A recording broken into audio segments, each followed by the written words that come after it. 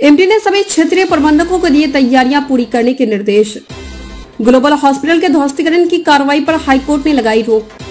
सिपाही समेत कई लोगों की मौत, कई अस्पताल में भर्ती, निजी पैथोलॉजी कर रहे मनमानी। वृंदावन के एक आश्रम के समीप दो महिलाओं के शव मिलने से सनसनी पुलिस जाँच में जुटी। सुबिहार क्षेत्र में जर्जर दीवार ढहने से दो मासूम समेत तीन की मौत, चार गंभीर रूप से घायल।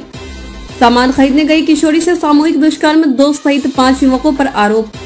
पार्किंग में गाड़ी खड़ी करने के दौरान हादसा, गार्ड की मौत, परिवार के चार सदस्य घायल। शताब्दी वर्ष समारोह से पहले हर गाँव में होगी आरएसएस की शाखा, संघ ने तैयार किया खाका। बाढ़ के कारण बदलेगा लीला स्थल पुलिस आयुक्त ने किया निरीक्षण। बीआईओएस गोरखपुर के खिलाफ हाईकोर्ट ने दिया कार्रवाई का निर्देश।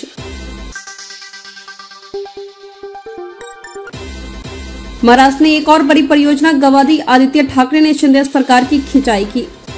अनुमान के पूर्व मुख्य सचिव एसआईटी के समक्ष पेश सामूहिक दुष्कर्म केस में हो रही पूछताछ। माने पेंशन का पैसा देने से क्या इनकार? बेटे ने फोड़ दिया सिर। एक हज़ार से ज़्यादा केसों की गलतियों को ठीक करने का आखिरी मौका कोर्ट ने दिया चार सप्ताह का समय। आसनसोल में लगे शत्रुघ्न सिन्हा के लापता के पोस्टर बीजेपी का तंज बिहारी बाबू छठ पर भी गायब। सत्तारूढ़ शिंदे खिम्बे में पनप रही असंतोष विधायक ने मंत्री पर लगाया यह आरोप।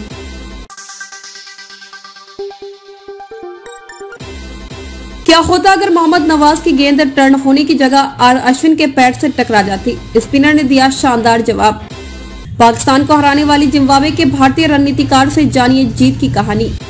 करो या मरो के मुकाबले आमने सामने होंगे ऑस्ट्रेलिया और इंग्लैंड, कब और कहाँ खेला जाएगा मैच? अफ़गानिस्तान और आयरलैंड के बीच होने वाला मैच बारिश के कारण रद्द।